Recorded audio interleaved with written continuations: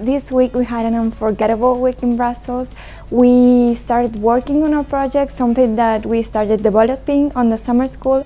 To all the politicians we talked to and uh, CEOs and people in business in general, they are uh, starting to understand the importance of giving power to women, especially young women who are starting their career. And yeah, my takeaway is positive because I really saw that the change is starting. This week helped me on, on, on several levels. One of them being public speaking, because by, at the end of the week we had a pitch to present. Those yeah, training moments gave me confidence and it just let me grow. Another thing that I learned this week or improved was just my networking skills. Like, uh, speaking with other people.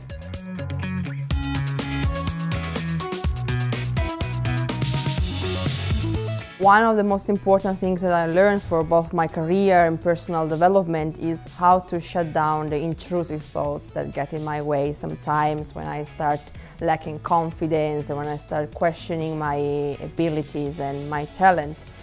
But I'd rather say that I started learning how to do it because for all of us this is a lifelong process, a lifelong path. Some of the most important things to take for myself is seeing the beauty of unity despite differences and how by bringing together certain ideas, brainstorms, differences, we can actually come up with even better solutions than original maybe by framework.